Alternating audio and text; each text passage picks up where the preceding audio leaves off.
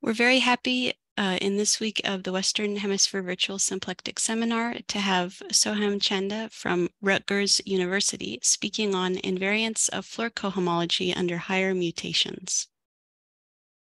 Okay, yeah, thanks for the invitation. It's a great honor to be speaking here. So today's talk is going to be about invariance of Floer cohomology under high mutations. And you can find the link to the article here in this arXiv link. So the goal of today's talk is twofold.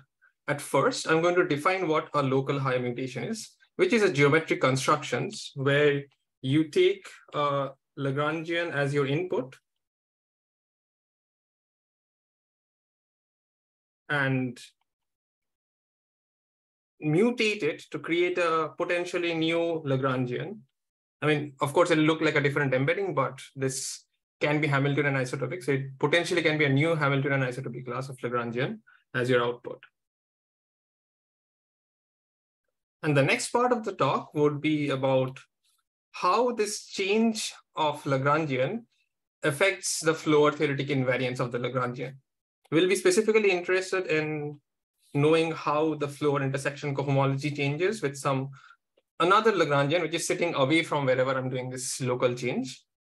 And I'll be interested in how the disk potential also changes. And in this part of the talk, I'll talk about some technical things about broken maps, which is same as holomorphic buildings if you have seen it before in SFT setting. Uh, and the last part will be a sketch of the proof. All right, so I'll start with the geometric construction part. So before that, some history of Lagrangian mutation. Uh, so at first you can see Lagrangian mutation came up in Lagrangian torus, Lagrangian 2 torus in almost toric fibrations in Symington's 2002 paper for four manifolds. So this is a symplectic four manifold and there's a Lagrangian torus sitting inside it as a toric fiber. And as you do a nodal slide along a fiber, so let's say this is a fiber and your Lagrangian is sitting here and this is the pinched torus.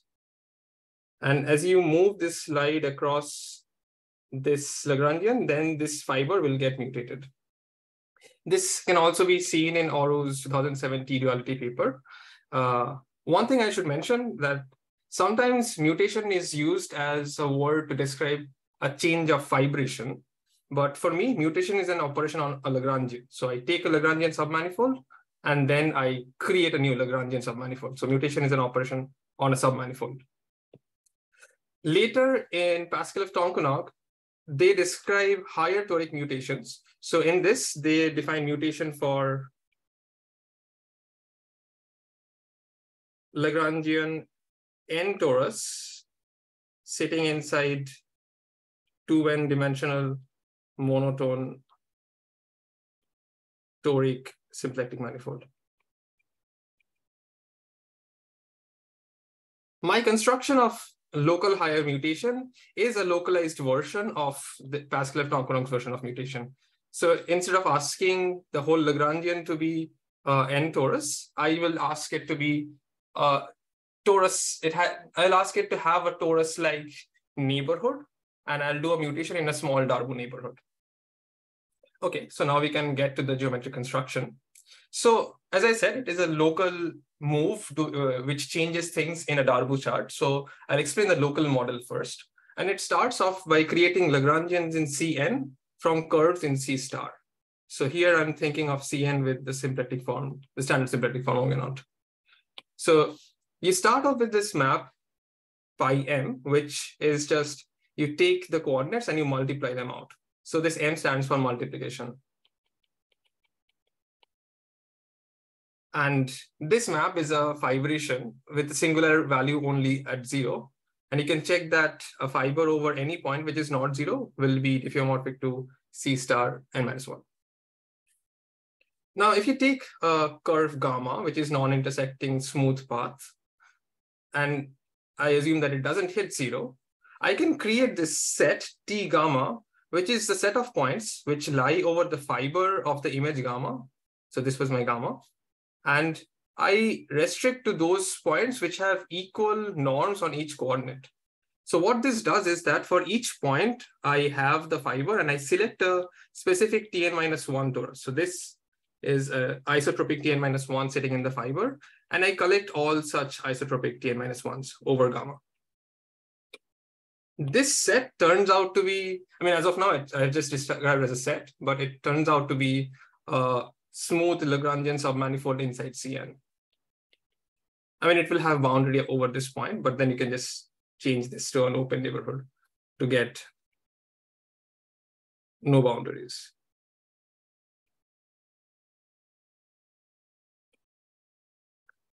And the way to see that this is a Lagrangian embedding is uh, an idea which has already been seen in, like, for example, Seidel's work of Lefschetz fibration is that T gamma can be thought of as parallel transporting this along the cur curve gamma, where you use the symplectic connection to do the parallel transport. So from now on, we should think of Lagrangians which have T gamma embedded in them as the Lagrangians which we can mutate. And I'll make it precise in a bit. So T gamma will be my model, which lets me do a mutation. Before I proceed on explaining mutation, I want to explain what happens when gamma passes through zero. As you see that I had asked gamma to be a map to C star before. But if I allow gamma to pass through zero, for example, if I take gamma to be a path, which is just the embedding of the real line inside C, then I define T gamma as usual, asking it to be equal norm on each point. Then over zero, there's only one point which satisfies that, the fiber over zero. So you get that T gamma will have a conical singularity if your gamma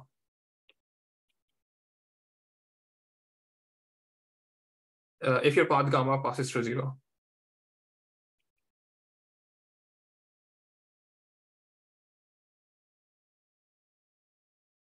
And for the specific case of uh, the real embedding, I mean, like embedding the real line inside C, this T gamma you get is no is a Harvey-Lawson double cone. So it is the conical singularity in a Harvey-Lawson fibration. So you can think of T gamma as desingularization of the Harvey-Lawson singularity.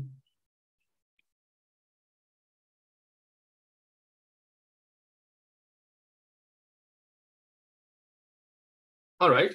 Uh, now I want to put some constraints on the curve gamma to make my life easier of talking about local models. So the main two constraints for gamma is I want the path gamma to lie on the real line inside C, which just means that near gamma 0 and gamma 1, I want this part to lie on the real line. And I also want the image of gamma to always lie on the upper half plane. So if this was the positive imaginary direction, I want gamma to always lie in this part. Okay, so now we can talk about locally mutable Lagrangians. So these are the Lagrangians which I can mutate. So the definition is you want to call a Lagrangian sitting inside M, M omega, a symplectic manifold, if you have a Darboux chart phi from a ball around zero to M, such that L looks like T gamma for some gamma admissible. So this is saying that phi takes T gamma to L. And I want two other conditions because I want to do Floer cohomology with local systems on them. So this condition says that the induced map on homology from the inclusion of T gamma inside L is split injection. So this gives me something like H1L is a direct sum of h1 of phi t gamma direct sum something else, which comes from the cycles away here. And the other part is that I want L minus this, if I take this away, I still want the rest of the Lagrangian to be connected. Uh, important fact to note is that I want this to be a ball centered at zero.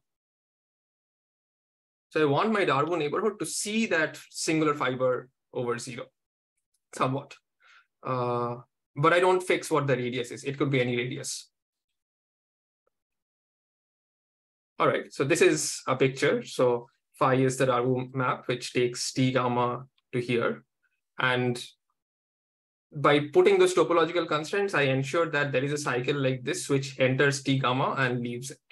And this will be important later on to do some choice of local systems.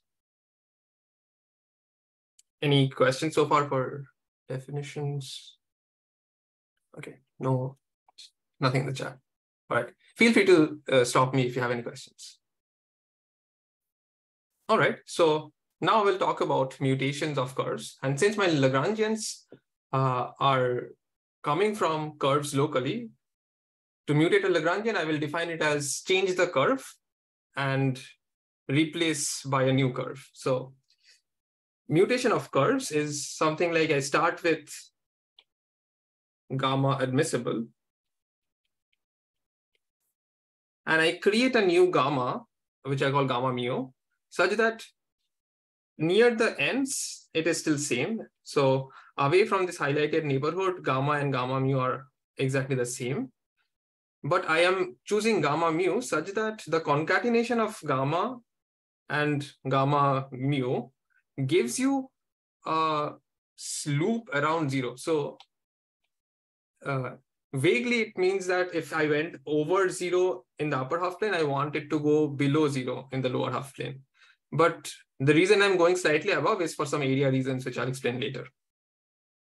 So to be precise, I just mean that this concatenation is plus or minus one in pi one of C star, depending on how you orient gamma and gamma mu. So gamma mu is mutation of gamma. Okay, so at this stage, uh, we can define local mutation. So what it does is I take out T gamma, and then I replace it with T gamma mu. And I can, I mean, okay, I replace and glue it back. And the reason I can glue it back to still get a smooth object is because I had assumed that gamma mu and gamma are equal on the end. So pictorially, this is what's happening. You have a torus like here. So I'll call T gammas to be a, a torus segment.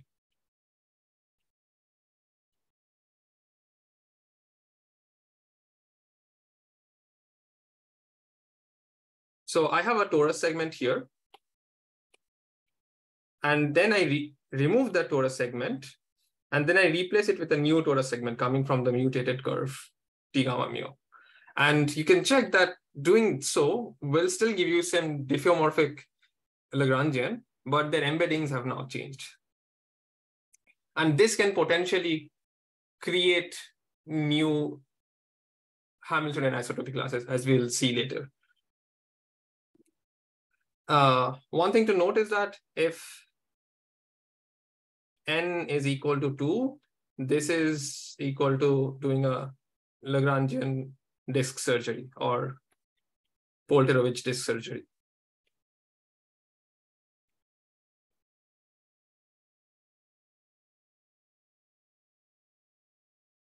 Okay, uh, now I will go slightly towards the Floer theoretic side. So before that, since I'll be only working in monotone Floer theory for now, I need a proposition which says, if I start with a monotone locally mutable Lagrangian, I can choose gamma, I mean, I can choose gamma mu such that the mutation is also monotone. So this proposition is something like preservation of monotonicity.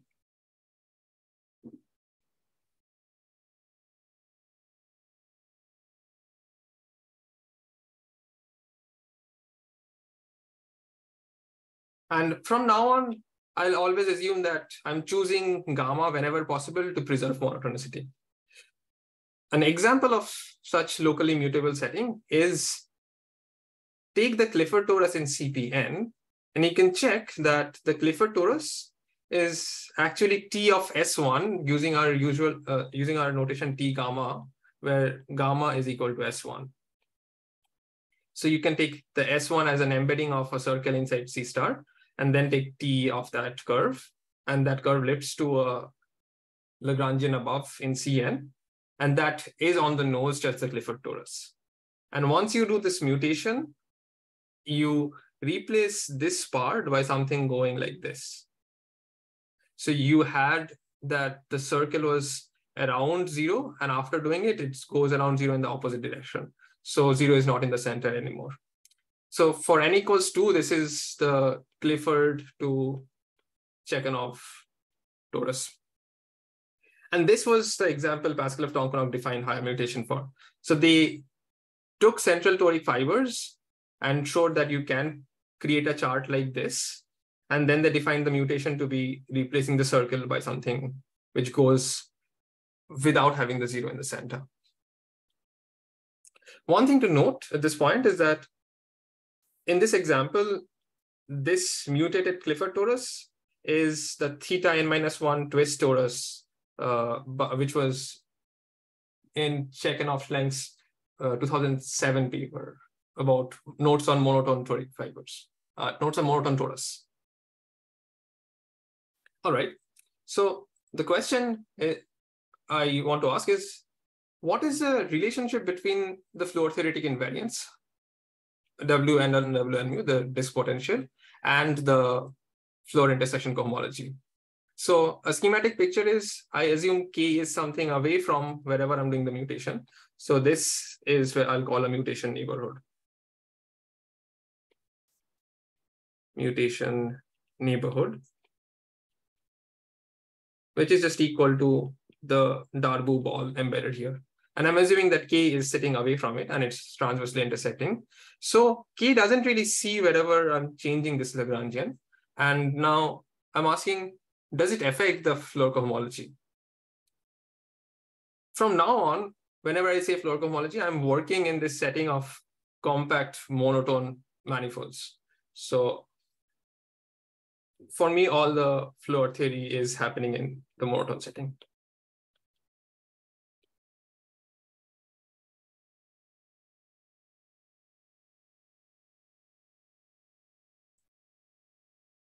All right. So now I can state the main theorem. So I assume that I have L rho L and K rho K are Lagrangians with local system where the Lagrangians are compact, orientable spin, all the nice things to make my moduli space orientable. Uh, inside some M omega, a compact symplectic manifold. And I assume the following, that L is locally mutable, so I can do mutation. LK is a monotone pair, which turns out important to make monotone Floer theory work. And I want K to be away from the mutation neighborhood. And the third thing is a technical thing, which uh, I need to regularize broken maps. And I'm, I'm going to explain why I need this divisor existence later. So assuming such a setting, the result is that there is a change of local system from rho L to rho L mu such that the disk potential does not change. And moreover, if you were allowed to do Floer theory of L and K, then doing Floer theory with rho L is same as doing Floer theory with rho L mu on the mutated Lagrangian. So you get invariance of Floer cohomology as well. Okay, and this change of local systems can be explicitly described. So which I'll call the mutation of local systems. So under an appropriate choice of basis for H1L, the change of local system is something like the following. You keep most of the holonomies same, except one. So as I mentioned before, I wanted a loop which went around like this. Was it a question? Or? Okay, no question. So yeah, I had set up my topology such that there is a loop going around the torus segment and closing up on the outside thing. And I'll call the holonomy on that to be Zn. And the mutation formula there is Zn goes to Zn times 1 plus Z1 plus Zn minus 1.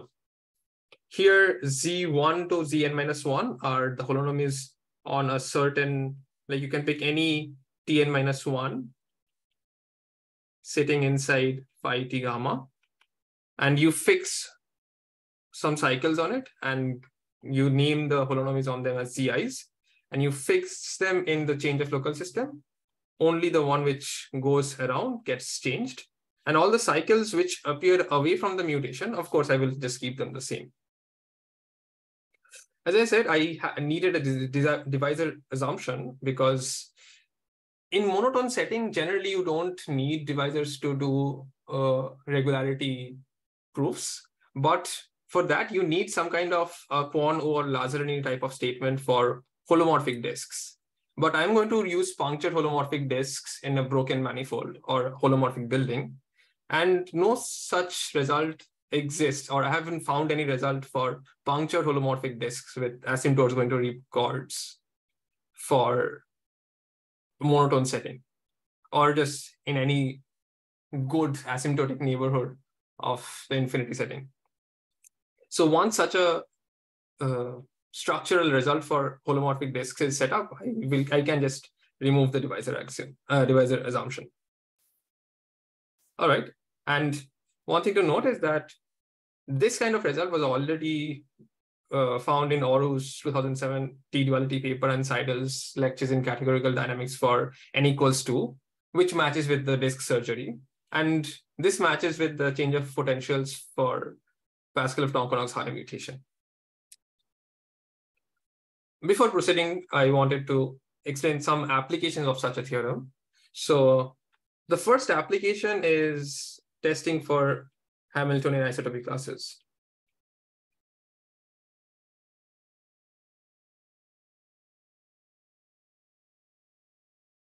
As we see, we get that the disk potential as a polynomial will change because I'm changing one variable in the polynomial. So I can try to check if the new polynomial I get for the disk potential is different. So knowing WL to WL mu, this mutation of as polynomials, this can help you test if mutation is creating new Hamiltonian isotopy classes. And this has been very successful eh, for n equal to. Uh, Vianna has created infinitely many non-isotopic tori in CP2 and other toric fourfolds. And Pascaleff-Tonkonog's extended to all the other cases which were missed by Vianna. And the other sort of application is a result like HFLK is same as HFL mu K will be important in some SYZ fibration mirror symmetry statements because L and L mu are both desingularizations of L naught, where this L naught is a Harvey-Lawson singularity. So if you have a SYZ fibration, generally you will have uh, singular fibers for at least n equals three would look something like this. And the point over and the conical point will look something like this pinched torus T3. And you can think of L and L mu to be desingularization in two different directions. And this relates them as what the objects are in the Fukaya category. All right. So before I go towards the proof, I'm going to give a quick recap on some Floer theoretic words. So I'm going to do Floer theory with local system. So local system is nothing just a choice of flat C bundle over my Lagrangian L. And since it's flat, I get holonomy map rho, which is all I'll remember from now. So this rho keep tracks of what happens to the parallel transport as you go around the loop. So this is what rho is doing. So it's a map from H1 of L to C star. And Another term I want to define is a monotone pair. So monotone pair just means I have, it's a stronger version of monotone Lagrangians. Instead of asking just disks to be monotone, I want annuli to be monotone. So this is the homotopy class of annuli. So elements look something like this. You have a boundary on L, you have a boundary on K, and I am looking at homotopy classes of annuli. And from here, you can get two functionals as usual. You get the Maslov index functional and you get the symplectic area functional since you're relying on two Lagrangians. And I'll say L and K are a monotone pair if there exists a positive lambda such that you have this action index relation. And this forces M, L, K to be monotone. And not only that, you also force that the monotonicity uh, ratio for L and K are same. And this is something technical which you need for HF. Okay, so I'm going to now explain what this curve count is for a choice of a local system. So if you have seen the definition of disk potential, it used to be you have you fix some point P and then you count holomorphic disk of Maslov 2 index, which are going through this point P, and you just add them up instead with one. And you have some sign coming from how you orient. But if you have a local system, you can also define this new version of disk potential, which keeps track of what the boundary is doing to the holonomy or like how what the parallel transport is along the boundary. So instead of weighting it by one, I weight each disk U by the action of the holonomy on the boundary, which lies on the Lagrangian L. So the weight potential is the sum of rho del U, where U is a holonom uh, holomorphic map, P is on the boundary, and the Maslov index is 2. Maslov index 2 implies that U is rigid. And HF can be defined similarly by having a strip and weighting this strip by how the holonomy acts on while going around like this. All right, so now I'll go towards a proof. So before I go uh, to the direction, I just want to step back and see what's happening in, in a geometric way. So this is my setup where L is getting replaced by L mu here and K is sitting somewhere away. And I'm assuming that the intersections are transverse. So L and L mu both intersect K in the same points because K is not seeing wherever I'm doing this mutation. So this is inside the neighborhood and that is outside the mutation neighborhood. There can be two types of maps one type of map here would be strips which are completely lying on the outside or disks which completely lie on the outside. This will be same. This will be same for both L and L mu because the manifolds are same on that part. The only things which change are things which enter this neighborhood. And this are the maps which we want to study. And a very successful heuristic in this setup is to somehow break this count of curves by counting curves only on the inside and counting curves on the outside. And to do this in a rigorous way, the, we do a neck stretch or we break the manifold. Uh, quick thing to note is that since I know that L and L mu are same on the outside part, as vector spaces, I know that CF, LK, and CF, L mu are the same because they have the same set of generators. All right, so we are going to use the technique of count of broken maps by breaking the manifold to obtain Floer theoretic data. And this has been done by Charest-Woodward in the Floer Flips paper in 2015 in their setup, they were counting where uh, discounting where you have Lagrangian sitting away and you have you you have a separating hypersurface and you do a discount where this is the inside and this is the outside. And you do separate discounting and then you glue them back together. In our situation, we will do a neck stretch along the sphere of the mutation neighborhood. So this is the sphere which separates the inside and outside, and, and I'm going to break the manifold along this. Okay, so I haven't explained what these things are. It was just a uh, nice linguistic way to explain what I'm going to do. But now I'm going to define all the terms I was using right now. So I'm going to talk about broken manifolds and broken maps. And the setup for doing this is you assume M omega is symplectic. Oh, I should mention broken maps are the same as holomorphic buildings. And it's just a linguistic choice of why I'm saying broken maps and broken manifolds, because I can talk about broken manifolds in this language. All right. So to do this breaking of manifolds and breaking of maps, I need to start with a setup where I have some symplectic manifold. And for simplicity, I'm assuming that Z is a contact type hypersurface, which separates M. So this is our setting where you have M inside and M outside, and Z is sitting here. And by contact type hypersurface, I mean that there is a tubular neighborhood around Z such that the symplectic form looks something like this. And an assumption I need is that Z is uh, S1 bundle over some symplectic manifold Y. And this S1 action is a S1 action near this neighborhood N. I'm not asking S1 to be a global Hamiltonian action. And I need the S1 action generates the Reeb field on Z. So by this, I mean the infinitesimal action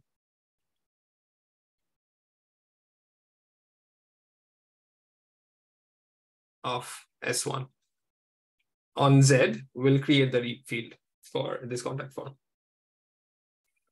And I will talk about holomorphic maps to such manifold. So I need a choice of complex structure. And since I'll break the manifold, I need the complex structure to be somewhat symmetric in that neighborhood. So I want this to be translation invariant in the second component. So I want to choose a J, which is same on each slice as I change the slice of Z. And I have a usual thing of having G to be adjusted to omega, which is same as some version of saying compatible in some language. And in our setup, the Lagrangian is also crossing this neck region.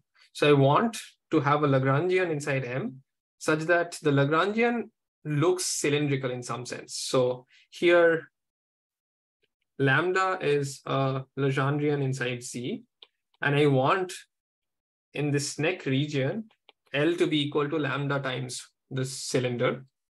And I want lambda to project down to some Lagrangian inside Y. And I want this projection to be a finite cover. All right, so this ends the setup of when I can break the manifold. So given such a situation, I'll call one part of L to be L inside, the other part of L to be L outside. And you should have the picture of L is a locally mutable Lagrangian, and this is a sphere. So it goes in and goes out. And this is where we really care about.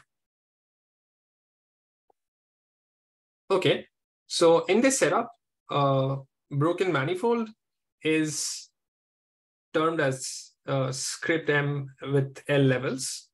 And it is a collection of manifolds M in and M out, uh, and some neck pieces M1 up to ML.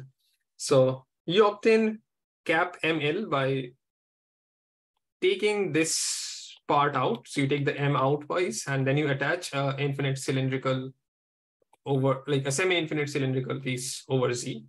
So this is Mn. Similarly, you define M out to be you remove the M in and attach uh, R minus times Z. And the MIs are neck pieces, which are just cylinders over Z. And you define a new complex structure on each of these pieces canonically because you knew that in this cylindrical region, J was transition invariant. So you can extend it cylindrically to the whole of the semi-infinite cylinders. And similarly, you do it for all these cylinders. And of course, J was already defined for away from your neck region. All right, so this is my target. And a broken map is a map from a Riemann surface with boundary to this broken manifold. Uh, okay, I skipped some part of what saying what L is. Similarly to M, L is defined as you take the Lagrangian and you attach cylindrical ends to it. Okay, uh, the domain for broken map is a nodal domain So I'm going to explain only the disk case and it can be extended to other cases very easily. So let's say you have a nodal disk and I add some decorations to it. I add labelings to each smooth part, which determines which piece of the broken manifold it'll go to. So this labeling allows me to say this part will go to MN, this part will go to M1, and this part will go to M out.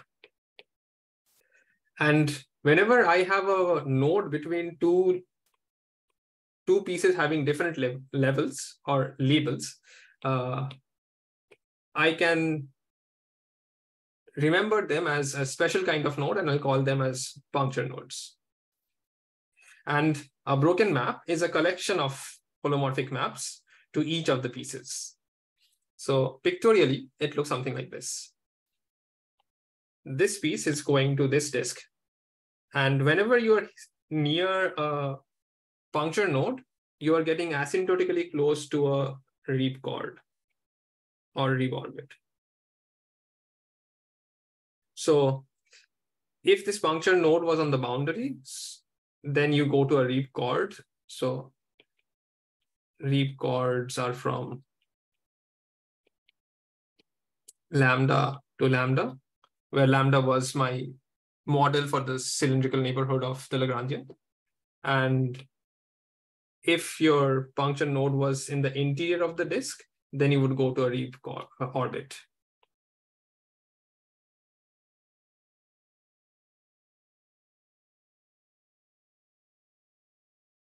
And I have a notion of stability, which tells me that I want my broken maps to have at least one non-trivial map in the cylindrical piece. So whenever you have a cylindrical z times r, you have a r translation.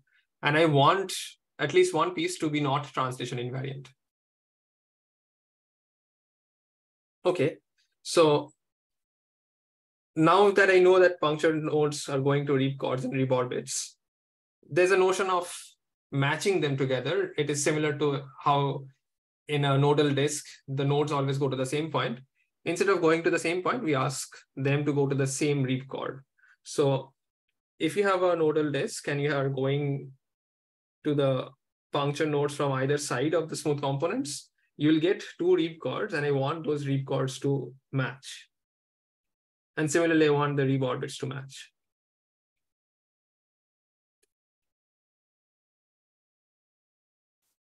And this object of broken map can be made into a moduli space. You can think of this as a moduli space because this is just a fiber product of moduli spaces of each piece where you are taking evaluations from both sides of the puncture nodes the space of Reeb chords.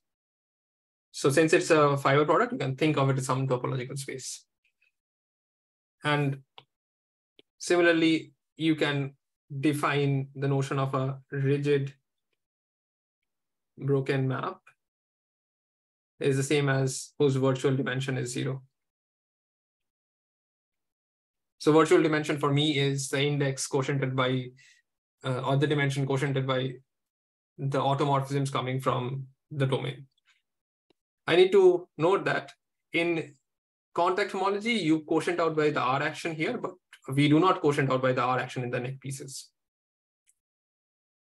Okay. Uh, an example of a broken manifold will be our exact setup we are going to break is you have phi of s to n minus 1, the contact sphere of a Darboux ball, sitting inside your manifold. And if L is locally mutable, you know L will be cylindrical here because you had assumed that gamma was on real line. So asking that to be on real line is same as saying that it is cylindrical in this small region near the sphere. And it satisfies all the other properties once I set my J to be the standard J naught in the Darboux chart. And in this setup, the broken manifold have, will have the inside piece to be Cn and the neck pieces will be Cn minus zero.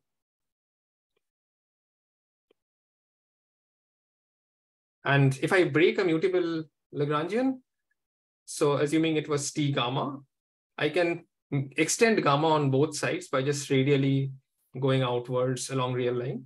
And the L inside will the will stretched L would become just T gamma extended for this extension of gamma.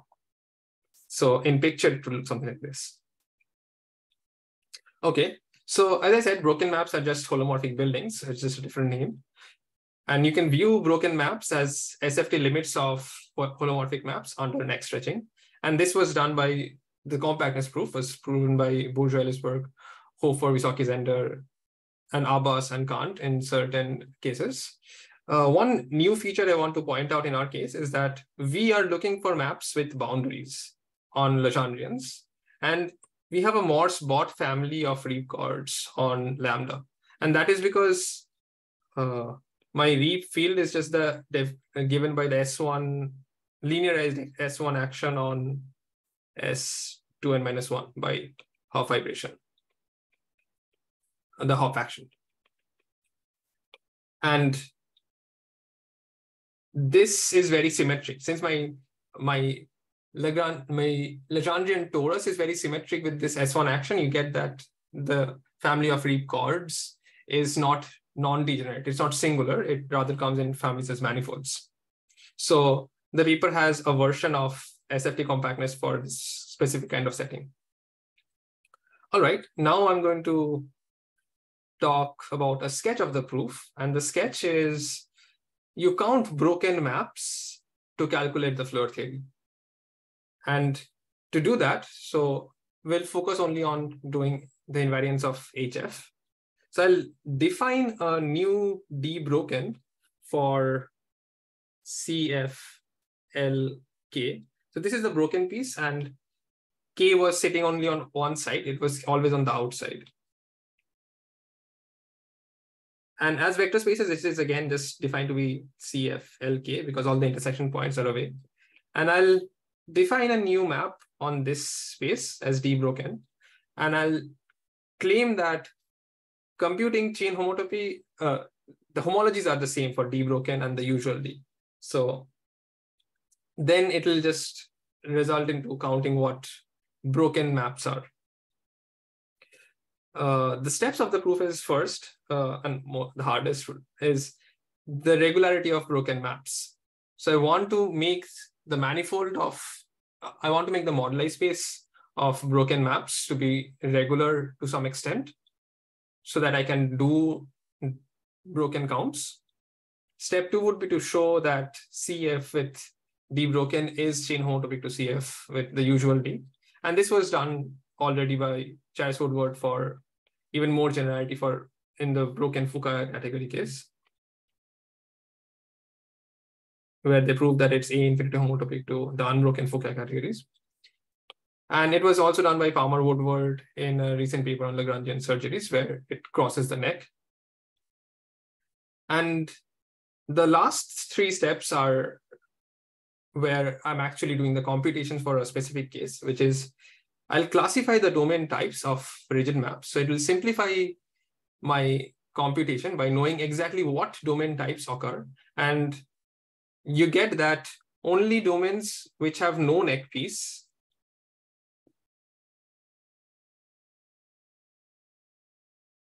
and and the inside pieces only occur with one single boundary puncture are possibly rigid because of some index reasons.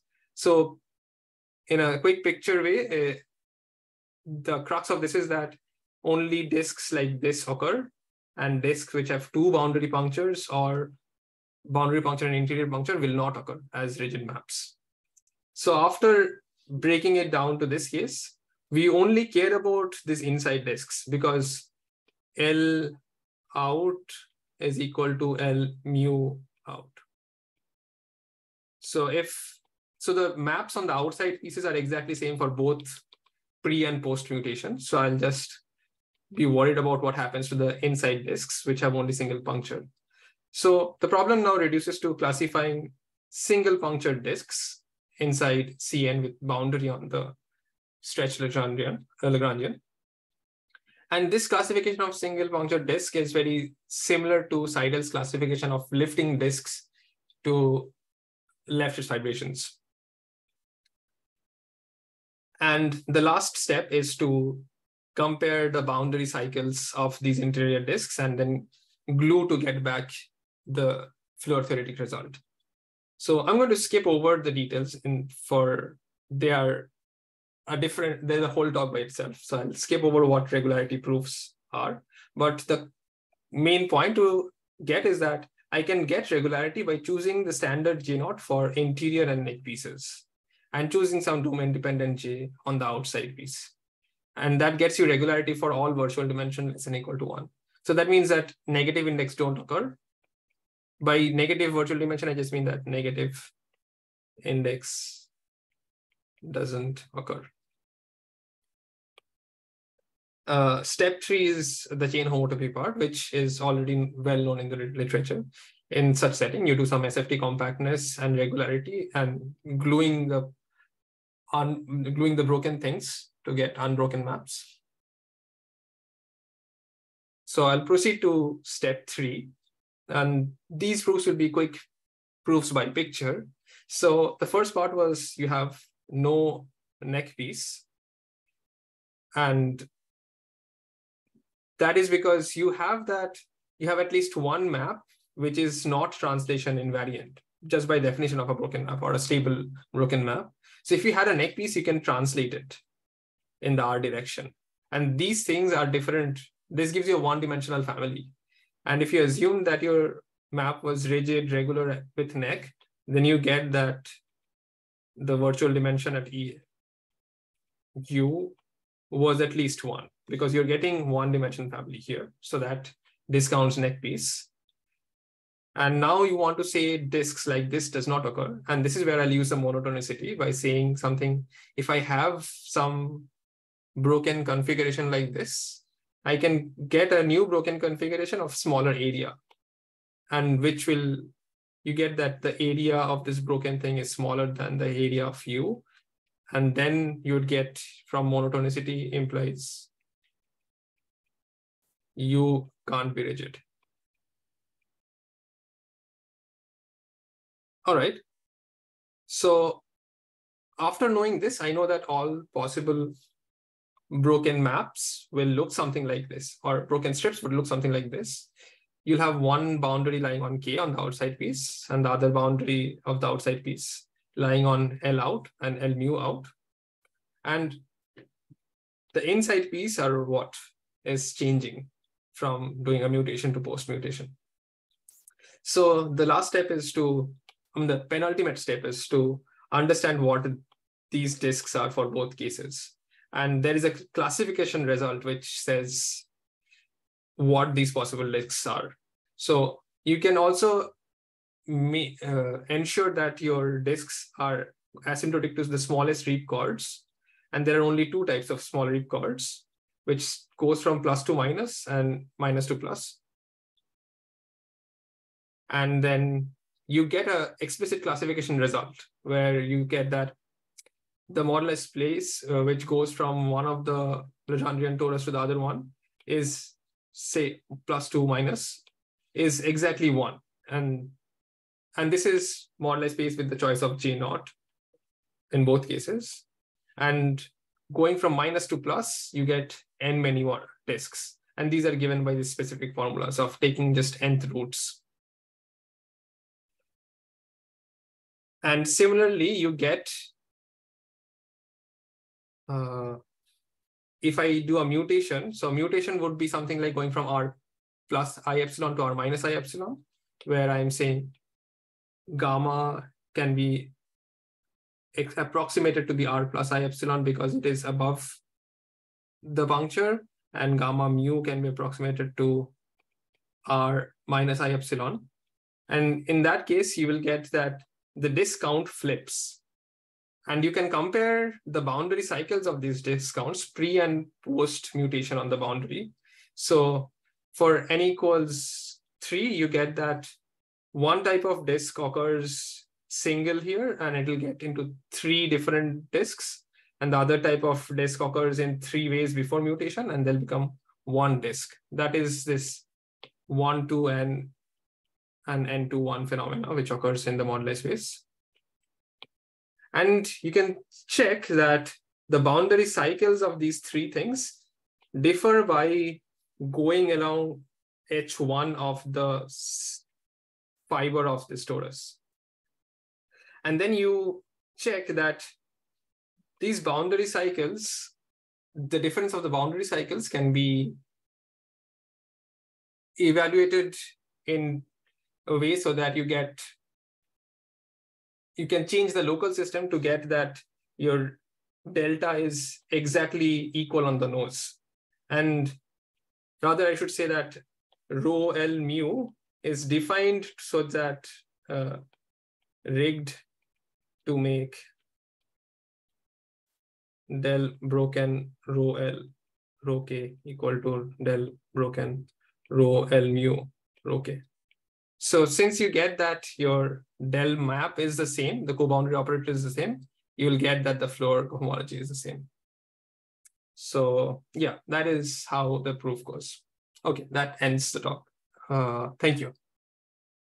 Oh, I see there's a question right now.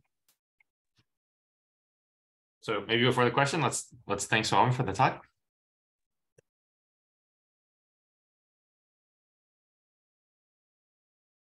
Okay, so after sneaking in that round of applause, yes, there's a there's a talk in the chat, and then I'll open it up to other questions.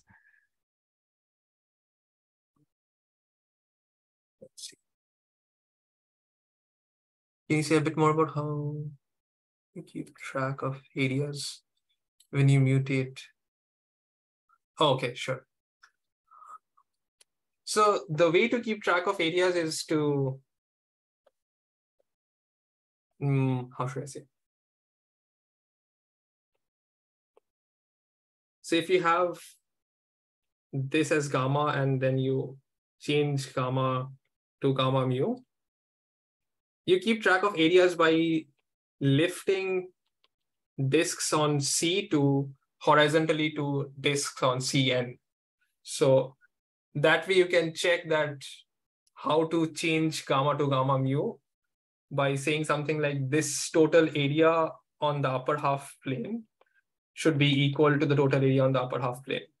I mean, of course, not upper half plane. I'll ask it to be equal on some disk. Like I'll cover it by I'll make a big circle and say this total area should be same with a different symplectic form, not the standard symplectic form. You have to choose some nth root symplectic form to make this work. Does that answer the question?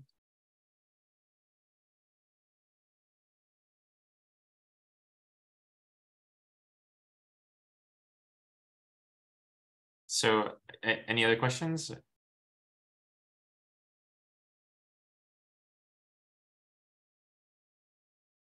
Well, actually, maybe maybe also I, I have a question for you. Hmm.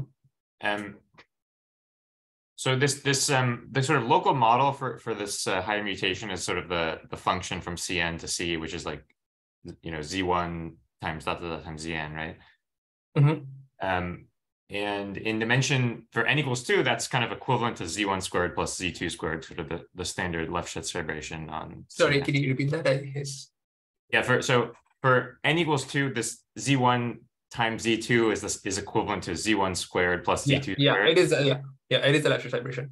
But I guess what I'm wondering is, so a different way of generalizing the n equals two case would be to just take the Lefschetz fibration model in every in higher dimensions, or yes, yes. some hybrid yes. between the two. And that has already been known. Uh, I mean, that is a disk surgery. I mean, uh, okay, I shouldn't say disk. Like you then have uh, a Lagrangian surgery happening in a low, in a higher dimension. So in that case, if you have, oh wait, I should use a better color. Pi L to be something from Cn to C, which is just the Lefschetz fibration C1 Zn mm-hmm. to the summation of Zi squared.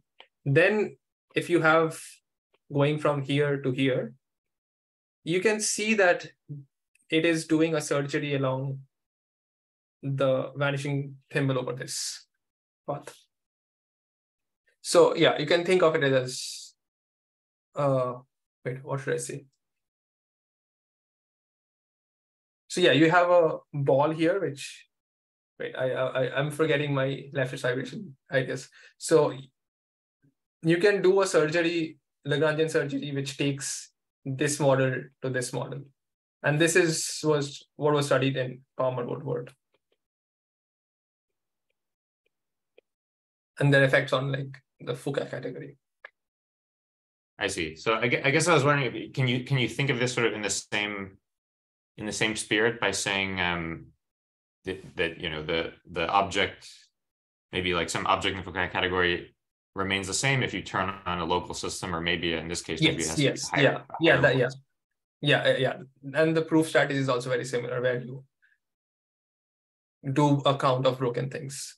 Yeah. Yeah that is exactly what is done in this paper i see. So, so then it, is there some sort of natural family of surgeries which interpolates between these two? Because you would think you know there's one you take a quadratic function or a degree n function there should be some sort of whole family of surgeries that where these kind of uh, both, both sit as yeah. natural cases the issue is that the singular fibers are very different. So in this case when you're going over the zero the singularity will be a uh, transverse self intersection but when i'll which is uh, much easier to know than what happens when you have a conical singularity. I mean, okay, easier, at least I feel so. The singularity is much more worse in the case. So I would not expect that. I mean, maybe there is, but it will not be nice, maybe.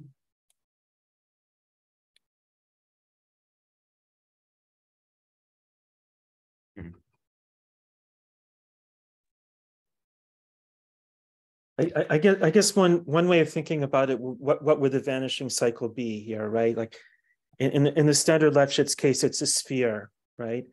And in, in in Soham's case, it's a torus. Right. So so you if if you ask yourself like what's in between a sphere and a torus, right.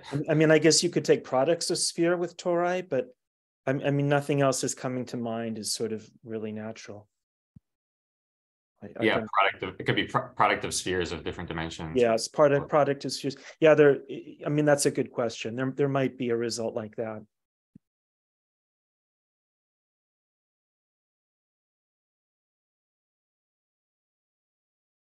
Yeah, I guess that also sort of the, the general spirit of the question would also be like, here you're you, you kind of need this H1 local system to be able to you know, you, you sort of turn on this H1 class, but you could imagine some more general situation where you just turn on like an HK class to, in order to kind of, you know, get back yes. to the original. Yes. Uh, hmm. But how would that be helpful in the like? Are you saying that let's say you do not have this nice thing of H1 is split injection on that part? Um, in, this particular case, probably it wouldn't it wouldn't help, but um, you could imagine some general situation. You could sort of instead of turning on a a lo- an ordinary local system, you could turn on a higher local system, which would ha- which sort of has the same effect. So yeah, I, yeah, I, I think such something like that would still you'll still get some relation between change of local systems by knowing that what exactly the disks are. Yeah, I think after you get this classification of disk, you do get for even higher dimension local systems. I see. Anyways, yeah, that was less a concrete question than more just like you piqued my interest. So I was just yeah. Yeah, thanks for the question. They're great. Uh, any any other questions before we thank the speaker again?